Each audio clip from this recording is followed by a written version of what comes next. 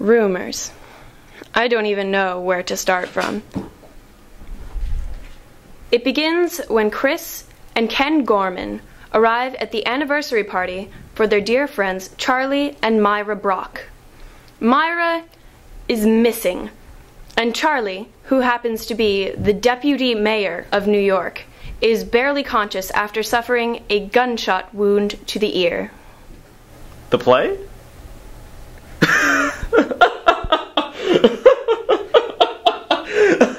Okay.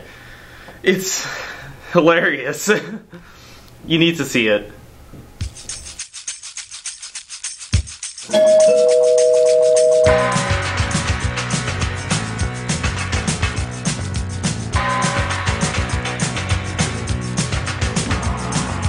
You say no. You say I say no. Quiet! I can't hear myself think! What was I saying? I had an actual conversation with her up there. Go ahead. I can get myself up. Oh my god, what is that?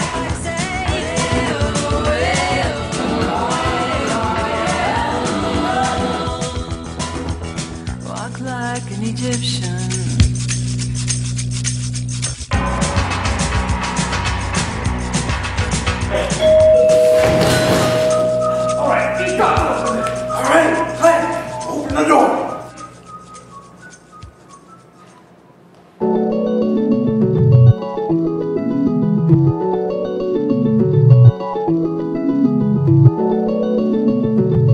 It's incredibly exhilarating being up there on stage in that bright spotlight and knowing that you have this entire crowd there who all came to see you and to laugh at what you're doing on stage and all the hard work that you put into it. and having everyone being like it was hilarious i'm going to come again i'm going to bring all of my friends and you just feel so incredibly happy that you did this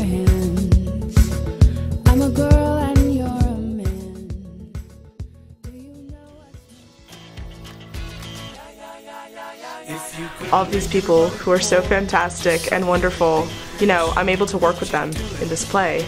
It's just so hilarious and chaotic and fantastic